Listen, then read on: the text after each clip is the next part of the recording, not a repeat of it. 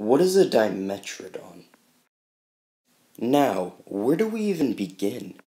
Well, let's start by saying Dimetrodon is not a dinosaur.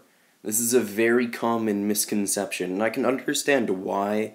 It's a lizard and everything, but it is not a dinosaur. In fact, it lived about 280 million years ago, so long before dinosaurs even evolved. Let me correct myself there for a second. It's not a lizard, it's a pelycosaur.